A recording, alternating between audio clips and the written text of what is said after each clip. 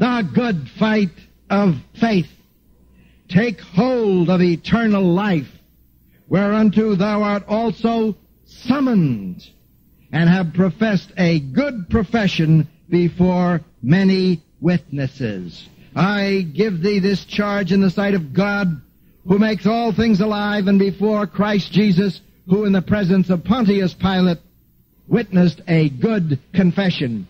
Keep this command without spot, unrebukable, until the appearing of our Lord Jesus Christ, who only possesses immortality, dwelling in the light which no man can approach unto, whom no man hath seen nor can see, to him honor and power everlasting.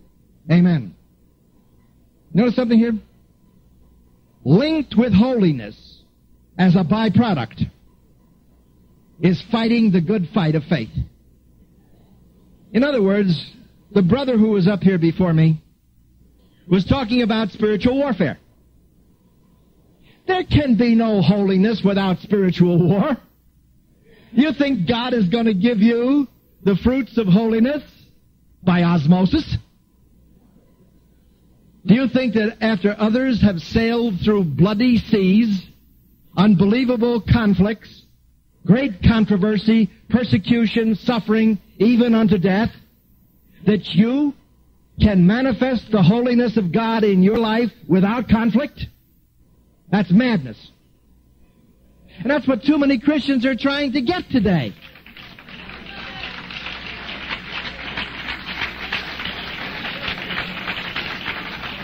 They're trying to get holiness as if you could buy it at Kmart.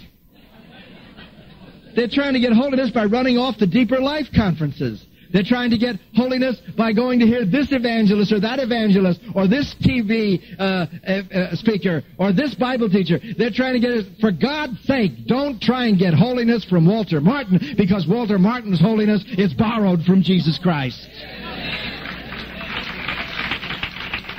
I'm not here for that purpose. I'm here to draw our attention to the basic bottom line of what it all means. And the bottom line is that you've got to translate the word holiness and sanctification and godliness into its basic meaning, God-likeness. To be like Him. To see Him as He is. That's the joy of the Christian. That's the goal of the Christian. Looking for that blessed hope. The appearing of the glory of the great God and of our Savior, Jesus Christ, who shall transform these bodies which humiliate us, so that they shall become like unto his own glorious body through that power whereby he is able to subdue everything unto himself. So, the good fight of faith is a byproduct of Christ living in you. There is such a thing as spiritual war. And there is such a thing as righteous indignation and godly anger. It is right to be angry in the presence of evil. I will repeat that. It is right in the sight of God to be angry in the presence of evil. I am one of God's last angry men. And I get in trouble more often than anybody else and the Bible Answer Man program indicates that where I'm often sworn at on the air for doing nothing other than telling them the truth. They get mad. But the ministry is not a popularity contest. The Christian life is not a popularity contest. You're not here to be popular. You're here to serve.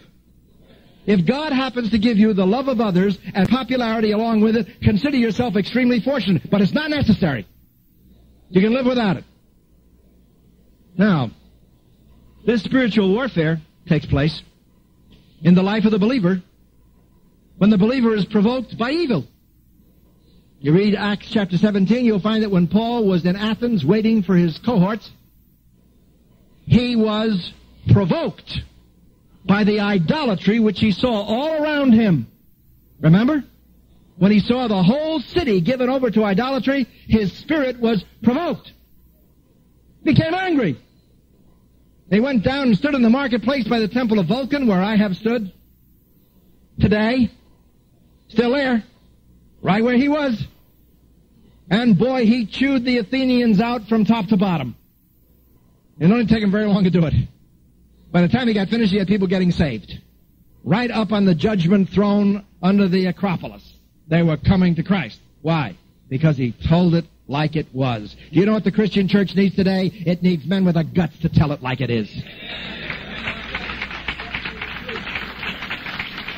Some people think that in order to be a Christian, you have to be a simpering, semi-tubercular physical wreck. Or you can never use any strong language that's going to describe the truth because if you do, people are going to be offended. Read my lips.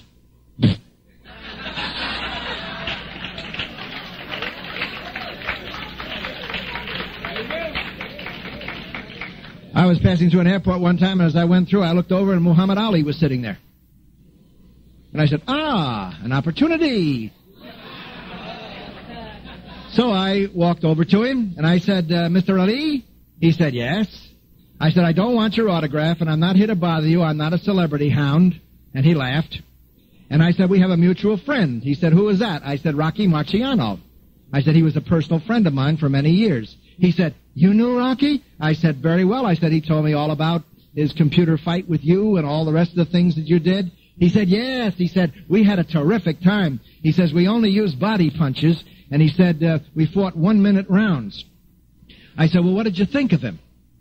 He said, Well, I thought, talk about something Ali wanted to talk about, which is fighting. And then when his guard is down, sock it to him. So I'm a, a boxing enthusiast who boxed myself, so, and wrestled, so I was interested. And I recounted the fight to him and the different fights that he'd had and so forth. He said, yes, yes. I said, what did you think of Marciano? I said, I understand that he was the hardest puncher ever recorded in the history of boxing. He could take you out with a left hand or a right hand and never had to travel more than six inches. All he had to do was get one clean shot at you. He says, it's true. He says, we only hit each other from the shoulders down. He says that man hit so hard with 16 inch gloves on. Not standard gloves, 16 inch gloves. He said he hit so hard with 16 inch gloves that my arms were paralyzed and my ribs were bruised for six weeks. He said if he had had on standard gloves and he could have got a shot at me, he said, woo He said I was on the bicycle and moving away as fast as I could. He said, hit so hard, he says, it was like getting hit with a fistful of rocks. He says, they called him Rocky rightly. So we talked a few minutes more, and he had a little book there. A Mohammedan book, an Islamic book. And he said to me, uh, I've been reading this stuff here. Uh, he says, you believe in hell? Man's terrified of hell. Because he knows he's going there. And I said to him, well, Ali, I said, the greatest man that ever lived, Jesus Christ, said it was he- said there was a hell, and he preached on it more times than he ever preached on heaven. He said, no. I said, yes, and Jesus always told the truth. He said, yeah. I says, there is a hell. And I had a chance to witness to him. But nevertheless, he was attracted in our conversation. First, by the material, our mutual interest, and then the spiritual. I had my cross on. People say, why do you wear such a big cross? Just for that reason. It attracts attention. And secondly, I found out devils don't like it, and what they don't like, I wear.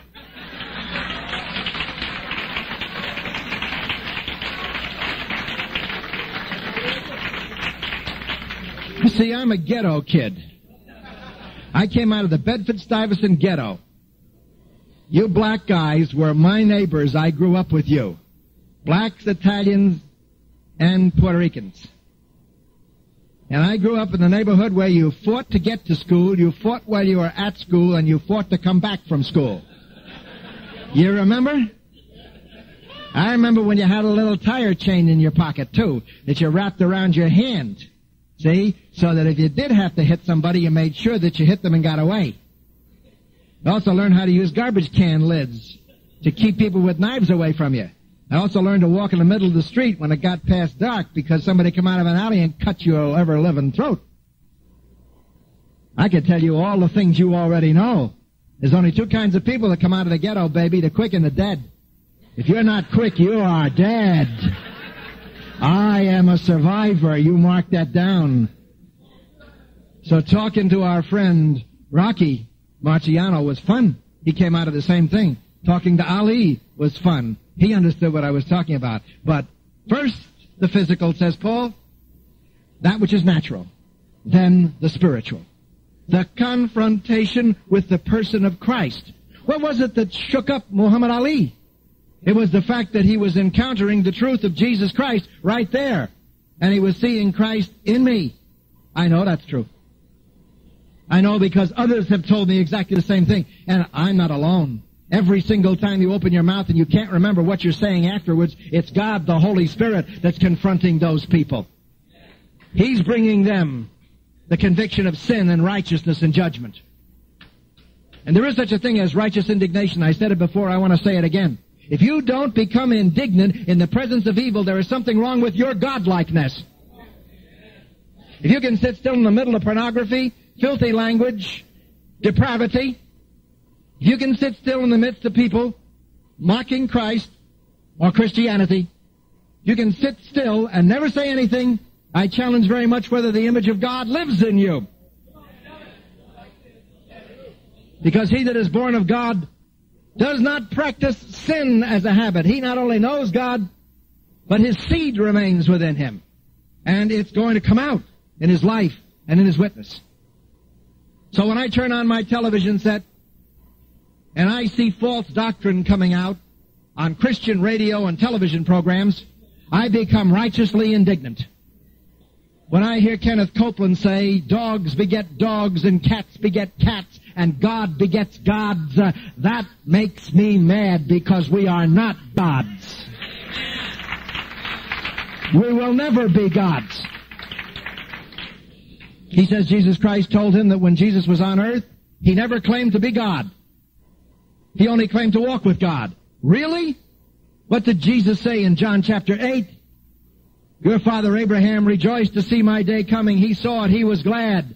They said, you're not even 50 years old yet. You have seen Abraham. Jesus said, I tell you before Abraham sprang into existence, I am the eternal God.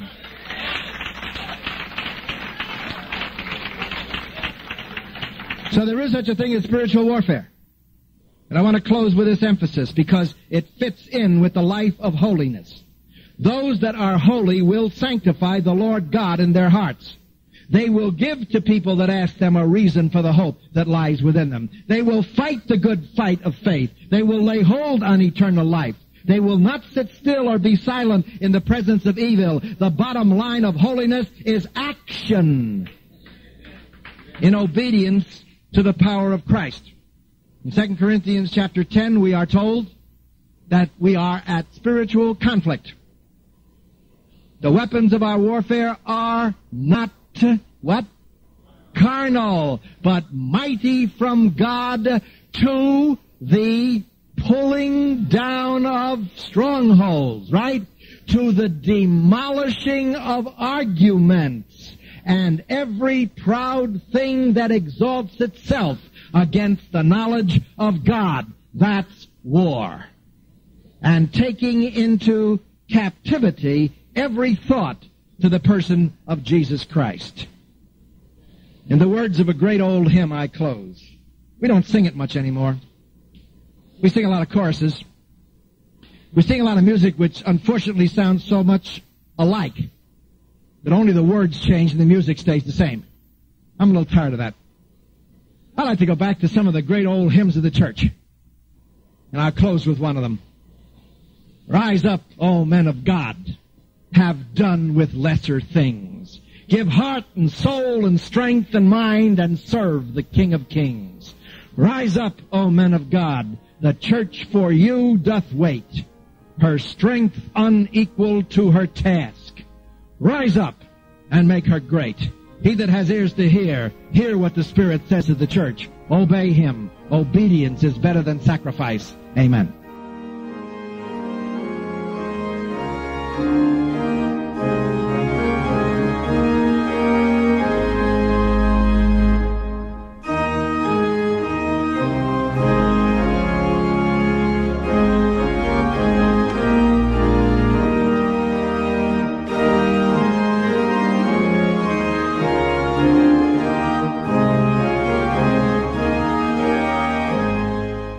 Has ears to hear, hear what the Spirit says to the church. Obey him. Obedience is better than sacrifice. Amen.